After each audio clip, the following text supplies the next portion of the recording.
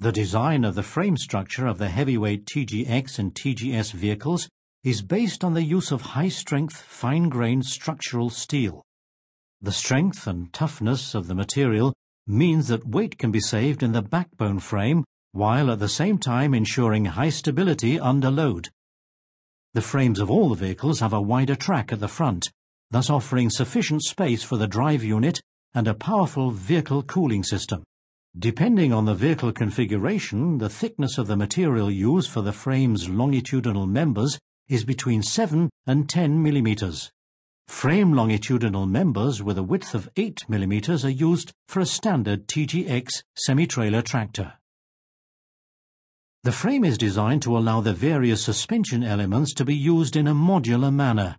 On flatbed chassis, there is an evenly spaced hole matrix for mounting the body.